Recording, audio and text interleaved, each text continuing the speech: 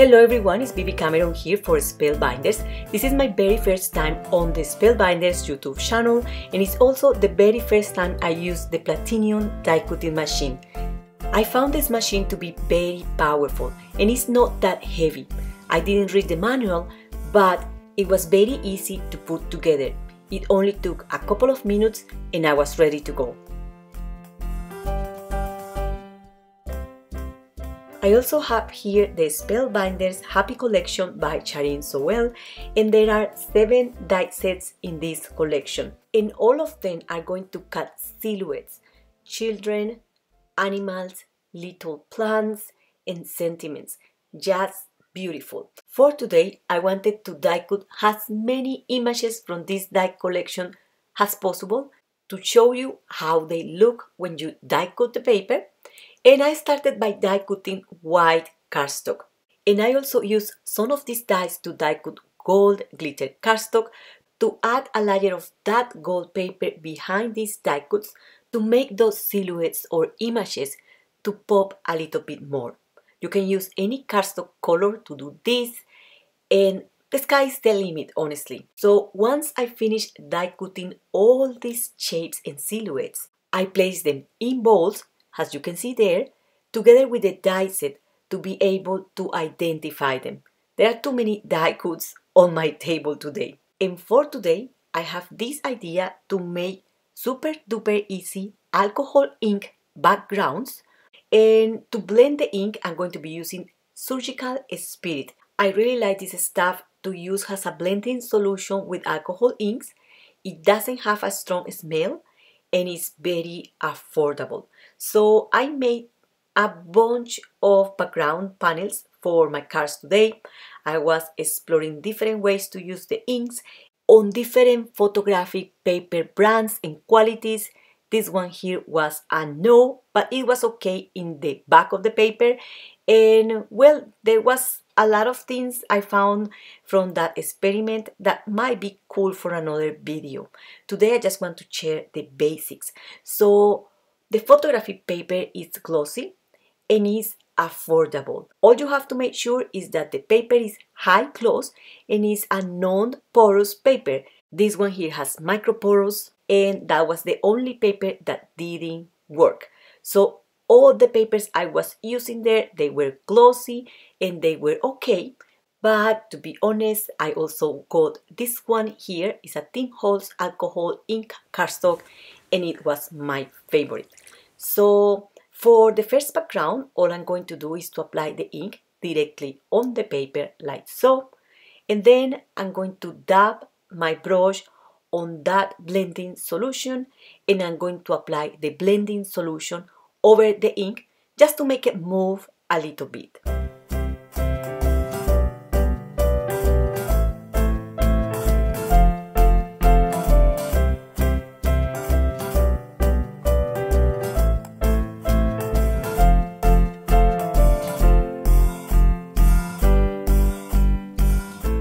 I heat this up and then I splatter this paper using that blending solution as well and also the metallic alcohol ink.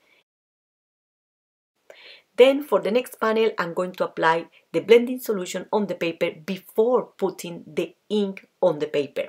And then I'm going to try to get uh, that ink moving from the top of the paper towards the bottom of the paper.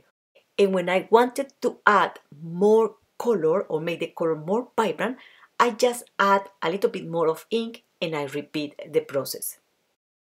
To create different patterns on the paper, the key is the way in which you are applying that blending solution.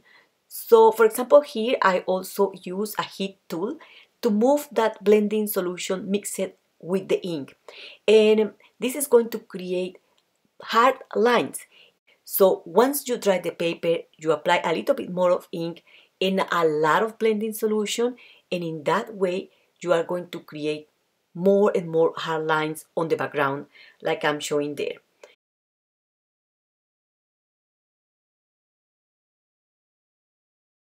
And I have this feeling, uh, I'm not sure if I'm right, but for card making, we need to fill the whole background with color.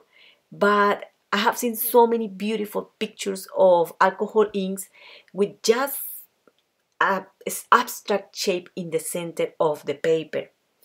I wasn't able to keep um, that kind of style for today. I just fill the whole panel with ink and for many of the panels today I only use two ink colors and a lot of that blending solution. I could not resist and I used the white mixative to splatter the panels. I just have the habit to splatter everything I do, so this wasn't the exception. Now I'm going to make a final background. I just pour the ink on a piece of plastic and then I just dab the paper on it and I can splatter some of the blending solution to add some texture. I'm also going to splatter a little bit of the white alcohol ink. You can also use a Midas touch or a shimmer pen to add gold or silver speckles on those panels as well. Now I'm going to put together several cards using those panels. To do that, I die cut some panels using circle, square, oval, and rectangular dies, just to create a kind of frame to frame the pictures or the scenes I'm going to build with all the die cuts I show at the beginning of the video. And to add an extra decorative element to these cards, I'm also going to use these die cut frames to add them to the front of the windows. For the first two cards, I'm going to be using We Bring Happy Wishes die set. This is one of my favorite die sets in this collection, super easy to use and you can cut part of this image to use in different cards and you can also mix and match these images with any other image from other die sets. So that's what I did for this very simple card and I also use that beautiful banner from It's Your Day die set.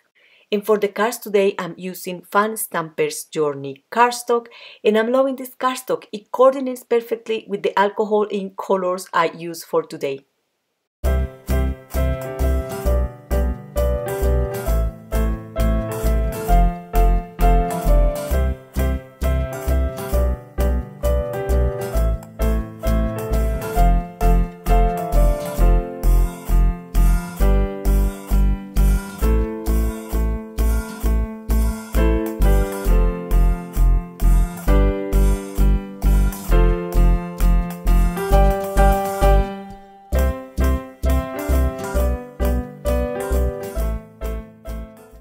For the next card, I'm going to be using Celebrate with Cake die set.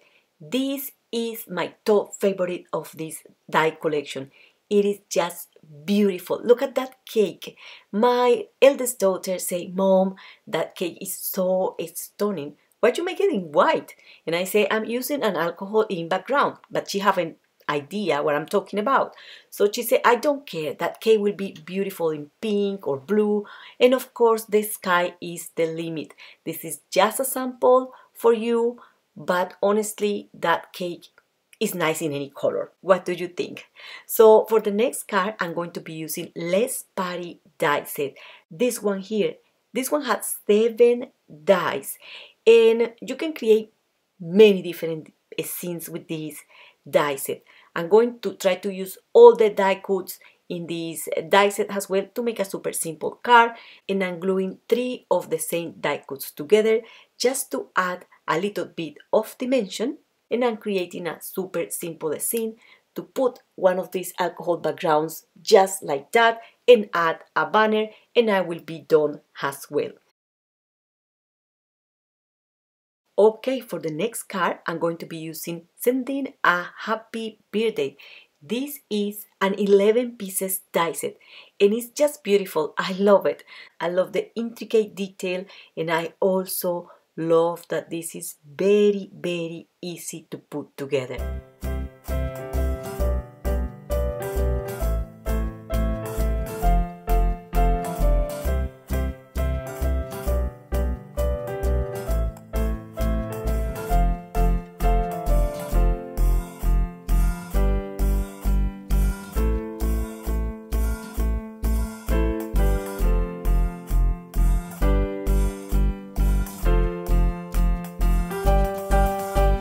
Last but not least, I have this crazy idea to die cut this alcohol background paper using birthday animals die set. And to be honest, this took me far away from my comfort zone.